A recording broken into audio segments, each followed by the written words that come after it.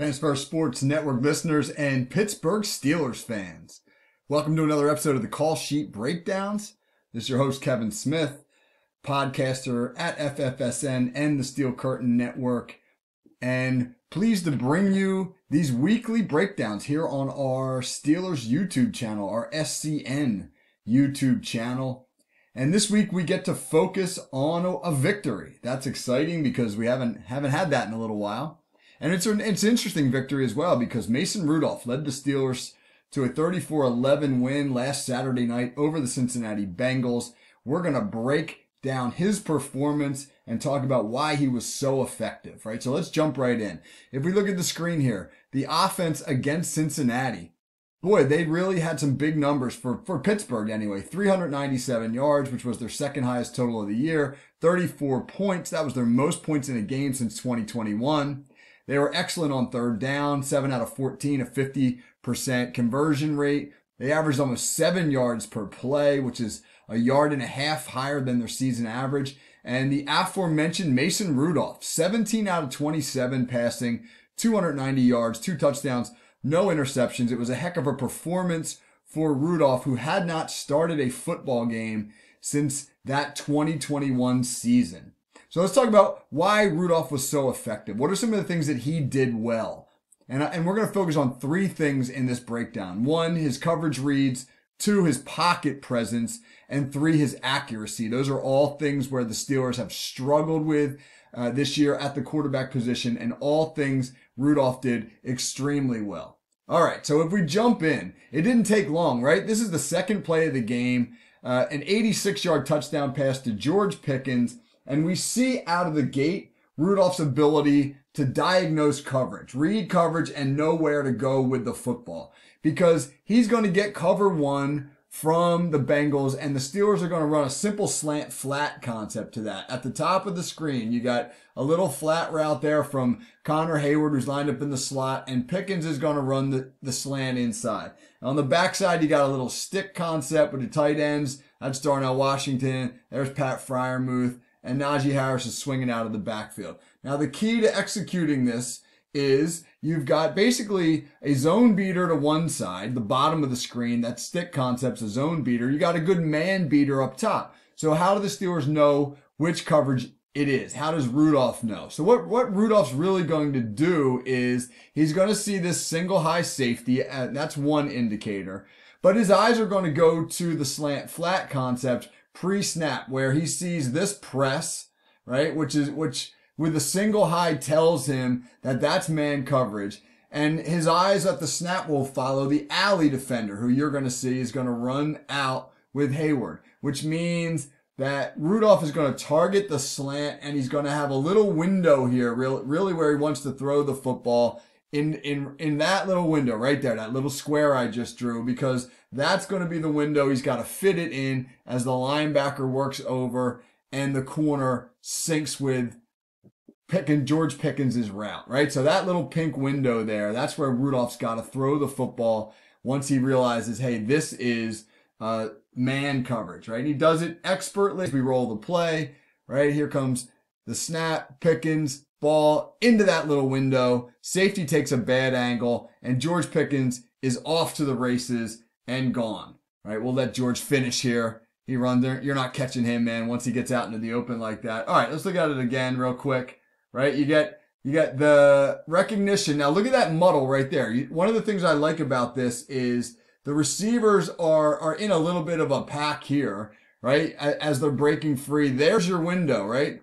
That little area just in between the hash and the numbers. And here's Rudolph. This is what I like about Rudolph. Look, he's standing in a, in a fairly tight pocket, but the ball's out. That means the ball's out on time and he's going to be able to hit it right into that window. The safety, if you'll notice, he's already, he's already taken a bad angle, right? He needs to be closing to where this throw is going to be. Instead, he's closing to where Pickens is right now. And that's going to cost him, as we'll see, as he overruns the play and allows Pickens to get out of the gate, missing right there. And then here goes George Pickens off to the races, right? So it's a great start for the Steelers. Two plays in, they get an explosive play, they get a lead. But they continue to move the football down the field uh, by sustaining third downs, Here's one of those. We mentioned there were seven for 14 in the game on third downs. This is Pittsburgh's second drive. And on this one, you're going to see on third and five from their own 45 yard line, Pittsburgh sustain the drive with a really nice job of Mason Rudolph staying in the pocket. His pocket presence on this play is excellent. Pittsburgh runs kind of a sail concept. You're gonna you're gonna see uh, a dig from Allen Robinson, a Y cross there from Diontae Johnson. He's not the Y, but that's, that's the concept here. Uh, you're going to see uh, you're going to see George Pickens run a, a, kind of a deep out cut. Pat Freiermuth is motioning down. He's going to run kind of a speed out. To me, that's sail because you got one low, two middle, and three high with the backside dig right? So, so however the Steelers are reading this, right? Oftentimes when you read sail, you read high to low, three, two, one, right? But now you got, you have Jaylen Warren in the backfield. He's going to protect and then leak out into the opposite flat here. And the thing that's nice about this is as you watch the sail concept develop, there's nothing open. But rather than panic, Mason Rudolph's going to hang in the pocket, all right, and find his check down for a nice gain and a third down conversion.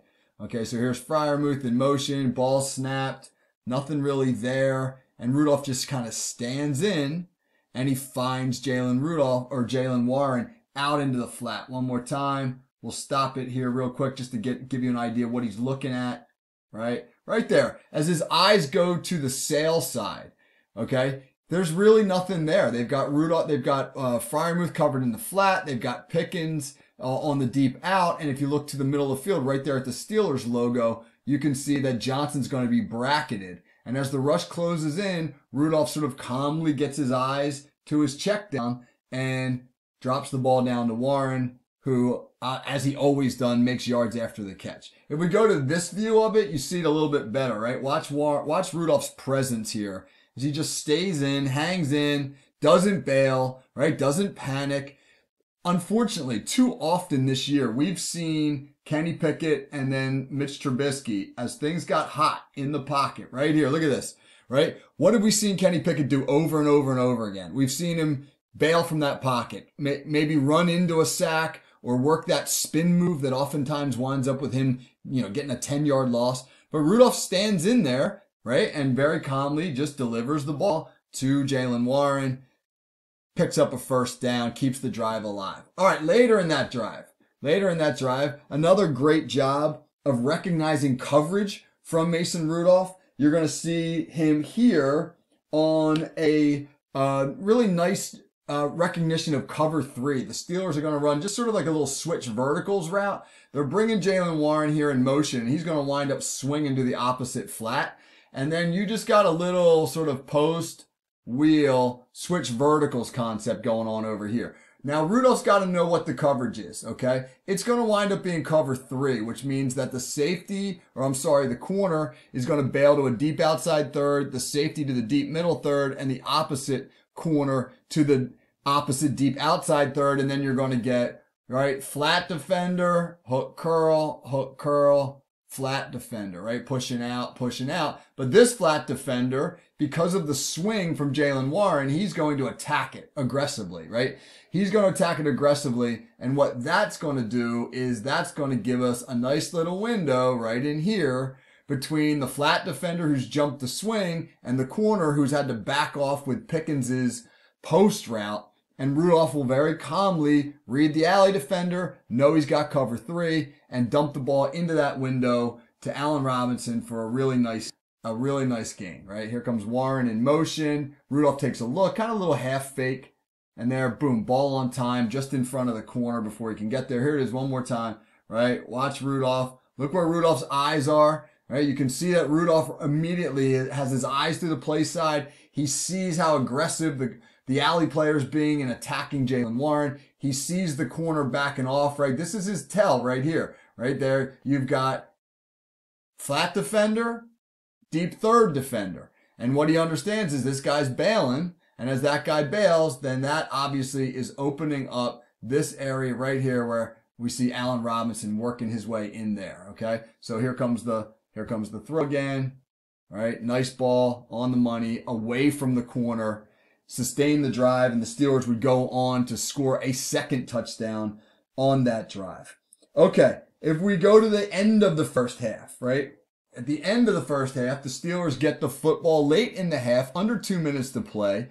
I honestly thought that they would just kind of run the ball a couple times uh, and and run the half out there. I had 17 to three at that at that time, but no, man, they pushed the ball down the field. And here's another third conversion, third down conversion. This is third and long, and this is another great example of Rudolph's pocket presence as we run this play. Okay, this is going to be another big one to George Pickens.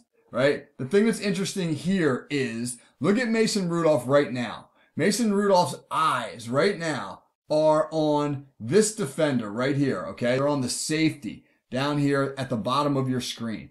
And that safety is is looking to drive over toward Pat Freiermuth, right? And and by doing so, by by working towards Freiermuth, then what what's happening there is he's taking away Rudolph's primary read, okay? By taking away his primary read, which again is Freiermuth, the tight end on a dig concept, He's forcing now Rudolph to go to a second read. Again, look at Rudolph's eyes staring right down the middle of the field.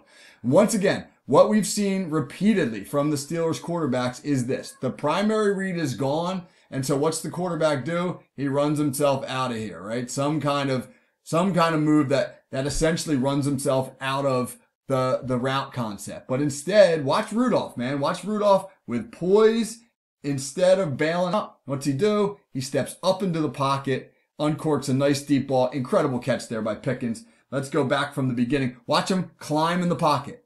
One, two, three steps. Climbs into the pocket. Three steps. Rather than bail, he finds open space. That's so refreshing as a Steelers fan to see a quarterback work to open space in the pocket, allow routes to develop, and hit a big play as a result. All right, one more, man. Let's go to let's go to to the the last big one they hit the 66 yard touchdown to Pickens in the third quarter. This was really big because not that Cincinnati was really climbing back into the game, but the Steelers had started the third quarter with a three and out. The Bengals went right down the field and scored, made the two point conversion. It's a 24 to 8 game. And so Cincinnati now's got a little bit of momentum. The Steelers get the ball back and they answer with another great example of Rudolph being accurate with the football and reading coverage really well. All right, so as we look at the at, at what Cincinnati's doing here, you see a lot of movement right from them uh, as they're sort of scrambling around with their with their personnel. Right, we we got a defensive back moving here. We got a potential edge blitz coming here. We've got press coverage there. We got press coverage there. We got a single high safety. That certainly looks like cover one with some heat coming right? So the Steelers are running a little snag concept to the top of the screen. That's really a zone beater. In this snag concept, you're going to see a uh, a little hitch here, right? You're going to see a little hitch here, and then you're going to see a corner route. That's a zone beater. But Rudolph doesn't figure that he's got time to let that stuff develop. Instead, he's going to take his one-on-one shot to the bottom of the screen to George Pickens Pickens has been uncoverable throughout this game. The Bengals stubbornly are still playing man. And so great, uh, great, great time to take a shot with heat coming, right? Here comes the blitz. Ball is out, and that is an incredibly accurate throw right on the money to George Pickens. See ya. Touchdown and essentially game over again. Here comes, here comes the pressure. Rudolph diagnoses it, gets the ball to his man beater, puts the ball in a perfect position. Touchdown, Steelers. So it was wonderful to watch the Pittsburgh Steelers operate on offense, particularly at the quarterback position where their quarterback, Mason Rudolph, read coverage well, had great pocket presence, and was accurate with the football. Rudolph has now earned himself a second start, and we'll see what he can do as he follows up this coming Saturday or Sunday, I should say, in Seattle in a, another must win game for the Pittsburgh Steelers. All right. So I'm going to be back with another video breakdown. I'm going to, I'm going to focus on the Steelers defense and how they confused Cincinnati quarterback Jake Browning in another video breakdown that should be out tomorrow. So if you get a chance, check that out. Like the video if you got something out of it. Subscribe to our YouTube channel, all that good stuff. Thanks again, everybody. Kevin Smith with you. Have a great day.